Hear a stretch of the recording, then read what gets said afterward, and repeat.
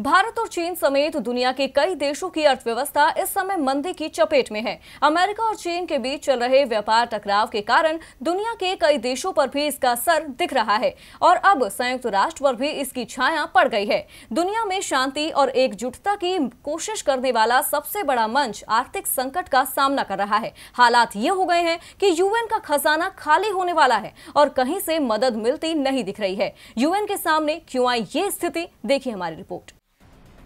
UN महासचिव Antonio Guterres काफ़ी परेशान हैं। उन्हें समझ नहीं आ रहा कि यूएन को इस परेशानी से कैसे निकाला जाए।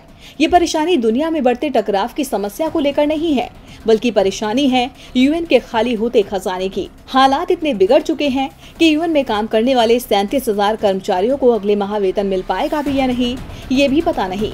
और जितनी नकदी यूएन के पास है, वो इस महीने के अंत तक पूरी तरह समाप्त हो जाएगी।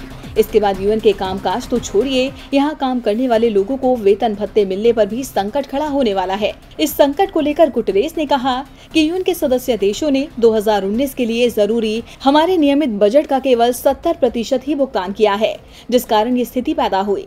उन्होंने यूएन के सदस्य देशों से इस साल की शुरुआत में योगदान राशि बढ़ाने को कहा था, लेकिन सभी सदस्य देशों ने इससे मना कर दिया।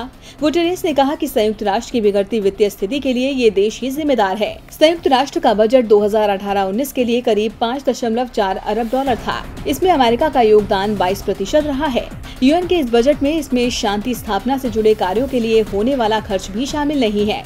ऐसे में अगर यूएन में आर्थिक संकट खड़ा हो जाता है तो दुनिया भर में शांति स्थापना के प्रयासों पर भी असर पड़ेगा। डीबी लाइव की रिपोर्ट।